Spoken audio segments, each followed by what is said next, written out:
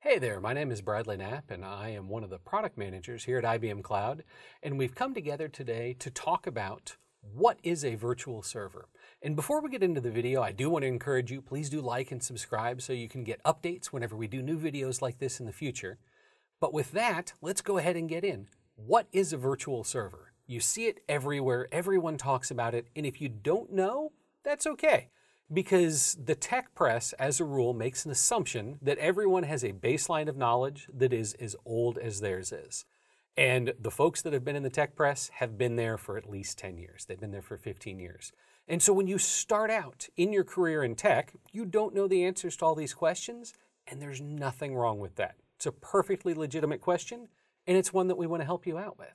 So, if we think about hardware in a data center, in your house, in your car.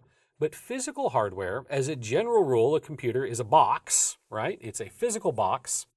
And inside that physical box, you're going to have one or more CPUs, that does compute. You're going to have some amount of RAM, that does storage. I guess we could label these, right? CPU, RAM. And that storage is directly attached to the CPU, right? The RAM is attached to the CPU, so it's very close. It's for the actual operation of the machine. And then you're going to have network, right? Because we're talking about virtual servers in cloud, so network is important. That is how the box talks to everything else.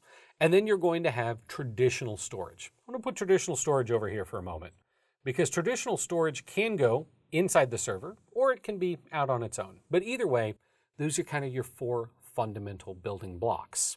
So, a virtual server is a virtual compute, virtual RAM, virtual network, virtual storage, but it's presented in a way that it acts like a server does. So if we consider a physical server a, to be a physical device you can put your hands around, what a virtual server does is it takes this physical host and it divides it up into slices, right? You've got slice one, slice two, slice three, slice four. Your slices take all of the aggregate resources on the physical server and they present just a little bit. Now, you don't have to do it that way. If instead of these little bitty slices, you want a great big huge slice, and then you want to fill the box up with a little slice at the end, that's fine too. But at the end of the day, a virtual server is part of a physical server that you get access to. And inside that virtual server or that VSI, you are going to have compute, you're going to have RAM, you're going to have network, and you're going to have storage. And it is presented to you, to the user, to the consumer, just like a physical box would be. But because it's virtualized, that virtualization, what that means is that we're taking and dividing these up, we can scale these resources up and down. So if you need a lot of compute and just a little bit of RAM, that's fine. There's no problem with that. We can build the virtual server that way. If you need a little bit of compute and a little bit of RAM, but a lot of network, right? Like it's running a website where you're constantly sending data out, that's fine. We can scale a virtual server that way. Each of these metrics is independently scalable. So you can have a little bit of compute, a little bit of RAM, a little bit of network, and a ton of storage that's fine. Because again, a virtual server is designed to solve whatever your specific needs are, not the needs of the people who build the box.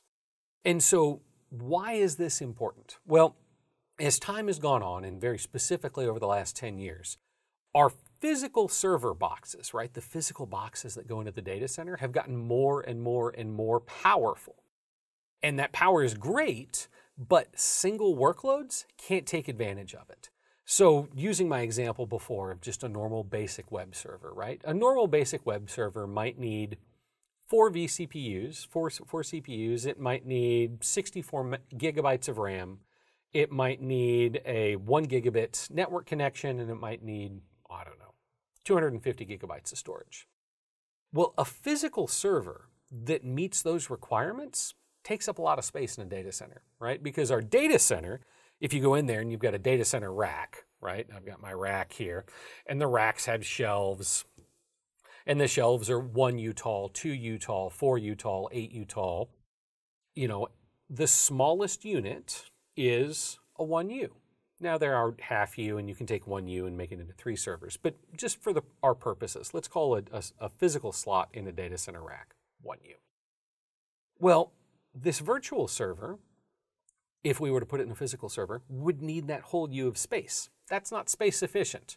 It's not power efficient. It's not floor print efficient, and it's bad for general efficiency, not just of compute, but it's not great for the environment either. So we want to drive density. So what you do is you take that physical box that takes up that same one U of space, right? So one U. So we're going to have a physical box that takes up one U of space, but we're going to make it super powerful so that it can hold 50 of these virtual servers because we have the ability to do that. With the advances in computing technology, we can pack 50 virtual servers of our little web server into one U of space. This is a great thing. It drives down the cost because these servers, if I can put 50 of them on one physical box, the cost for my physical box over here, I divide up 50 ways. makes it much less expensive for you, and it makes the compute resources that previously you'd have to go out, rent a data center space, get the power into it, bring the network in. Now you don't have to do that anymore. The cloud provider takes care of all of that for you, and all you care about is that you're going to have your one little VSI over here that's going to cost you 20 cents an hour. So that's the beauty of a virtual server. That's how they work. Now, obviously, we didn't get into the great fine technical details. If you'd like to know more about that, please do, you know, drop us a note, let us know. We're happy to give you more information. But that's a virtual server, that's how they work, and that's why they're important. Thank you so much for stopping by today. If you like this video and you'd like to see more like it, please do like and subscribe below. If you have questions, please drop them in the comments below and we'll try to answer them for you. And if you'd like to learn more, please check out our webpage at the link in the description or reach out to your IBM sales team or IBM business partner.